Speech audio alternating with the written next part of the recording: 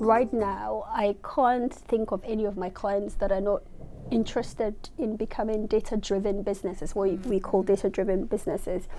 And you almost need to look at the evolution, you know, where they've come from to now. Right now, for senior leaders that I work with, all of them have data on their agenda, and it's really getting their data in the shape that they can leverage analytics, AI on top of that to drive insights, right? And data is becoming an asset to them because actually they're realizing that the business models that they've been historically using to drive their bottom line, to drive their revenue, all of that is changing with data.